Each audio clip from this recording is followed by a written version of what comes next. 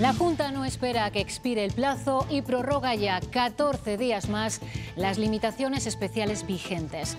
Argumenta que son medidas quirúrgicas en el sector hostelero en concreto y que no cabe en este momento relajarlas.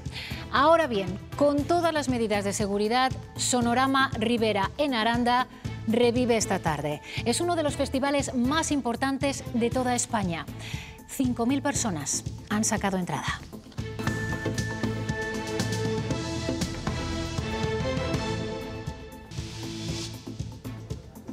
Las discotecas seguirán cerradas en Castilla y León y los establecimientos de hostelería no podrán permanecer abiertos más allá de la una y media de la madrugada. La Junta prorroga las medidas especiales de salud vigentes 14 días más, hasta el 30 de agosto inclusive.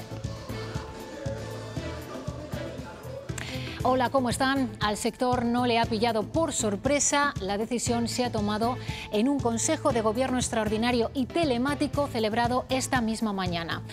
La Junta dice Celia Sánchez que no es el momento de relajar y prorroga las medidas hasta el 30 de agosto. Medidas que afectarán sobre todo a la hostelería, la restauración, al ocio nocturno, a las celebraciones y eventos populares y también a los eventos deportivos, porque la Junta da el visto bueno a la decisión tomada por el Consejo Interterritorial sobre aforos. 40% de limitación en espacios al aire libre, 30% en pabellones. Nosotros tenemos unas medidas que son muy quirúrgicas, ¿eh? pero que hay que mantener.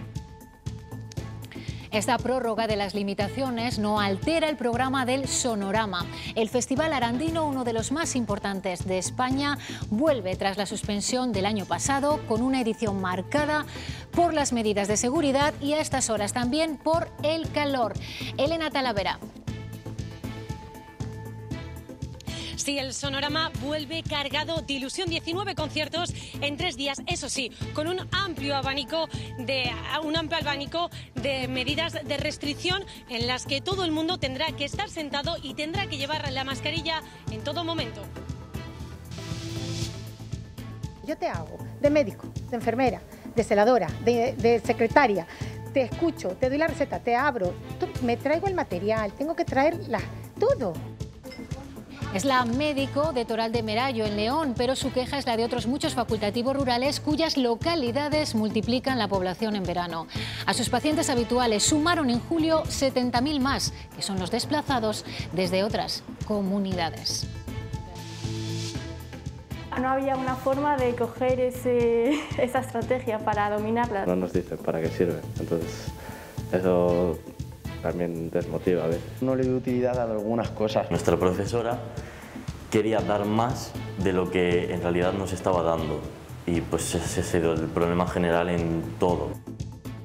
Ellos lo reconocen, las matemáticas son una de las asignaturas y no la que más se les atraganta. En una academia les hemos encontrado y a eso buscan remedio los profesores en Castilla y León, dar una vuelta al método de enseñanza persiguiendo esta idea del razonamiento que, que, no solamente porque lo exija PISA y, evaluaciones internacionales, sino porque estamos convencidos de que es, el, es, la, es la estrella de la matemática. Como el CSI, pero versión histórica. Tienes que investigar mucho y cerciorarte, claro. Cuatro horas al día dedica Julia a bucear en su pasado. Es más que una afición para ella y otros muchos investigadores amateurs. Con fotos, documentos y archivos van encajando su propio mapa genealógico. Segundo día de la ola de calor y parece que como ayer se va a superar la barrera de los 40 grados. Francisco. Sí, Alejandra, y no solo de día, también esta noche ya ha sido muy calurosa, bochornosa. En Segovia no han bajado de los 25 grados en toda la madrugada. Eso recibe el nombre de noche tórrida. Volvemos a tener sol, calor y calima. Así que mucha precaución también en los exteriores al quitarse la mascarilla porque la calidad del aire va a ser mala y mucho cuidado, como siempre, con los incendios.